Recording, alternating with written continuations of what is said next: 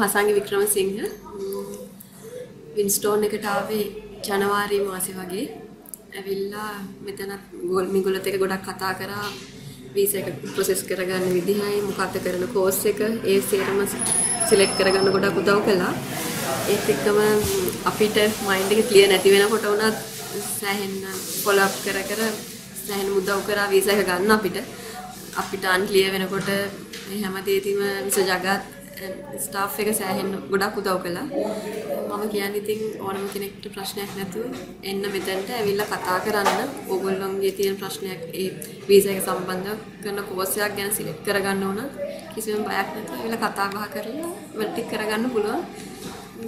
ඒ ගැන තහවුරු කරනවා කිසිම බයක් වෙන්න ඕනේ නැහැ කියන එක වගකීමකින් අපිට අවශ්‍ය වැඩ ටික කරගන්න පුළුවන්. මම දැනට යන්නේ early childhood level level 5 6 complete කරලා බැචලර් එක complete කරන එක තමයි ටාගට් එක තියෙන්නේ. ඊට පස්සේ මාස්ටර්ස් දක්වා ඉගෙන ගන්න අදහසක් තියෙනවා.